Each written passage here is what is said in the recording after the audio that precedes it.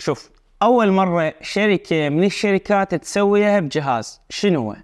أول مرة شركة بوكو اللي تابع شركة شاومي تنزل جهاز متوسط ب 90 frame بلعبه بوبجي شلون؟ السلام عليكم شباب وياكم مرتضى الجليحاوي.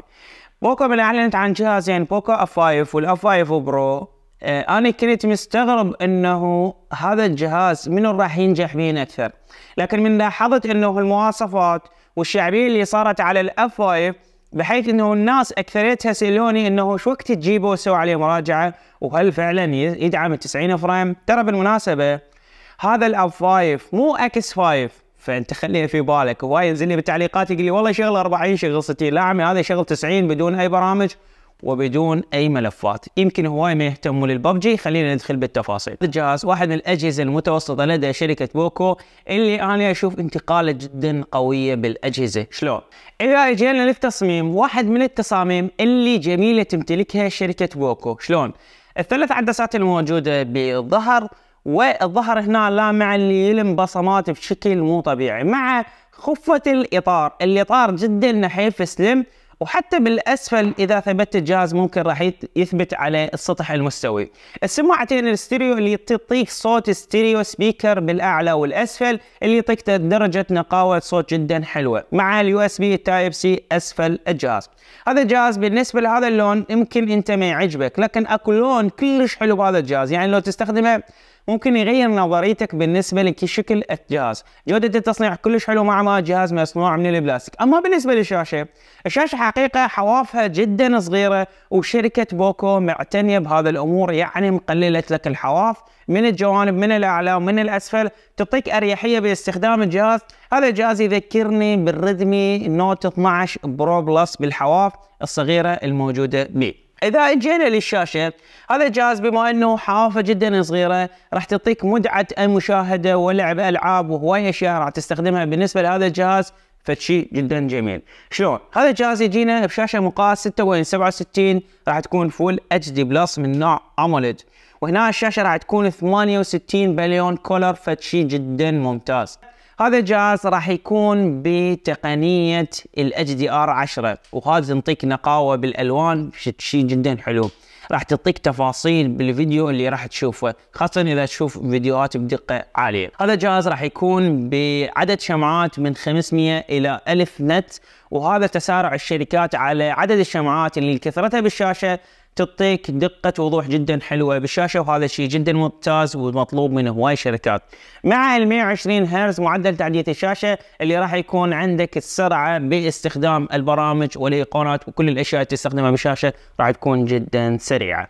هذا الجهاز يكون بعدد بكسلات 395 بكسل بالإنش الواحد ولحد الآن للامانه ما عانيت بنسبة الاضاءه من أشتغل بالجهاز أو أستخدم الجهاز خارج البيت. فهاي الأجهزة المتوسطة أنا أشوفها جاي تقترب من ال flagship بزيادة المواصفات عليه. مع ما أنه الأسعار نوعا ما بدأت ترتفع لكن نوعا ما الأجهزة المتوسطة بدأت تأخذ أو تقتني هو في مواصفات ال flagship هاي الشاشة راح تكون مغطاة بطبقة من نوع Corning Gorilla Glass 5 اللي تحافظ على الشاشة من الكسر حتى لو كان بسيط. مع هذا انه هذا الجهاز راح يكون مقاوم لرذائذ الماء اللي هو IP 53 هاي الميزه أنا اشوفها حلوة لكن يراد لنا أفضل على هذا الجهاز اللي معالجه مو قليل ويشغل 90 frame ممكن هواي يقتنونه على ميزات فاخرة بهذا الجهاز. جينا للنظام. هذا الجهاز يجينا نظام الأندرويد 13 MIUI اللي هي خاصة بوكو لكن هي ما بها اختلاف كبير أو جذري بينها وبين ال Redmi والشاومي. هي تقريبا نفسها بوكو تابعة للشاومي فالواجهة نفسها الواجهة سريعة سلسة. الشركة بدأت تعمل بواجهة شاومي. أنا بالنسبة لي انطي لثبات شاومي حاليا يعبر ال 80% بهواي فرق عن قبل بهواي فرق عن الأجهزة السابقة. شركة شاومي بدأت تحسن أو تشتغل على النظام بشكل ممتاز. أنطت تقدم واضح بالنظام والواجهه والسرعة والسلاسة والأخطاء اللي كانت تكون بالبرامج بالنسبة للجهاز. يعني هذا الجهاز بدأت المشاكل تنخفض بشكل كبير بالنسبة للأجهزة السابقة والسنين السابقة. مع إنه هذا الجهاز يجي بمعالج جدا قوي بالنسبة للمتوسطه من Snapdragon ال 7 Plus Gen 2 اللي راح يكون بمعماريه الأربعة نانو. نانو وهذا المعالج انطى أهمية للجهاز بحيث يشغل 90 frame بلعبة ببجي مع أنه ال Adreno 725 طبعا مو أقوى معالج رسوم لكن هذا الجهاز واحد من الأجهزة اللي تنطيها الميزة. هو كان اتفاق ويا مبرمجي لعبة ببجي فانطاني عدد فريمات جدا قوي بهذا الجهاز. جينا للذاكرة. هذا الجهاز يجي بذاكره 256 بال RAM 8 جيجا. ممكن أكو RAM يجيك 12 جيجا standard بس اللي عندي 8 جيجا مع إنه تقدر تضيف RAM standard من داخل الجهاز باخذ الذاكرة الداخلية. نوع الذاكرة الموجودة UFS 3.1 واحدة من الأشياء اللي حلوة سرعة البيانات سرعة نقل البيانات راح تكون بها جدا سريعة مع القراءة والكتابة تكون ممتازة. هذا الجهاز يجي بثلاث عدسات من الخلف 64 و8 و2 وتصور لك 4K الكاميرات. هنا عندك مثبت بصري هنا الموجود ال OIS نعم أنا بالفيديو لاحظت إنه أكو تثبيت بالفيديو بالنسبة للجهاز والفيديو التثبيت واضح بالنسبة للجهاز. أما بالنسبة لكاميراته شلون راح تكون؟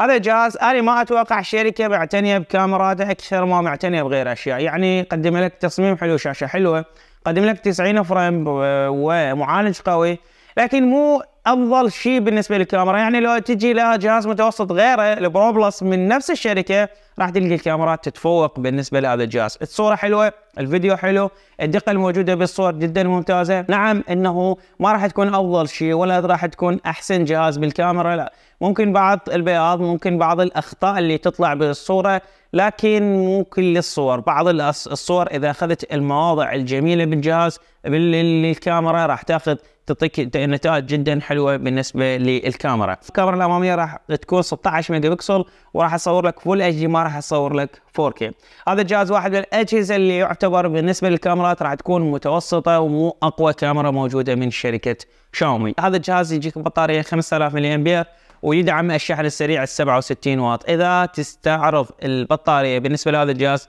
أنا شفت الصرف الشحن جدا قليل بالنسبة لهذا الجهاز ما شفت صرف شحن كبير.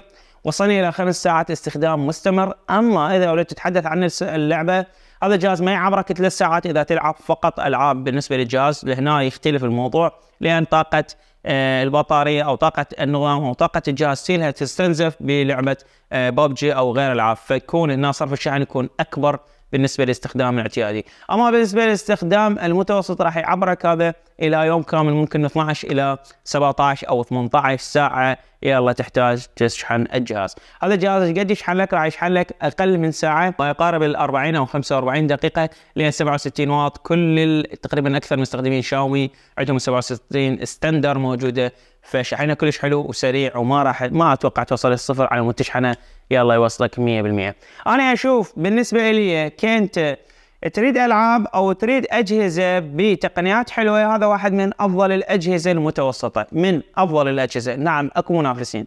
لكن هذا الجهاز المتوسط إيش يقول لك 90 frame؟ أكو 90 frame بنفس السعر يمكن معالج أقوى لكن كحديث دعمت الشركة بمعالج جديد شاشة أحلى كاميرا نوعا ما جيدة stereo speaker بالسماعات. نعم هذا يقدم لك أشياء جدا ممتازة مع السعر اللي تدفع به. قد سعره؟ سعره 350 دولار قريب ال 514 أو 513 ألف عراقي بنهايه الفيديو أنا أشوف واحد من الأجهزة اللي يعطيك تجربة حلوة بالنسبة للألعاب اللي اضافتها شركة شاومي على الأجهزة المتوسطة. أنا أشوفها أول مرة شركة تقدم 90 فريم بجهاز متوسط. نهايه الفيديو لا تنسى الإعجاب والاشتراك بالقناة. وياكم مرتضى جيلي حاوي وفي أمان الله. تحياتي لكم.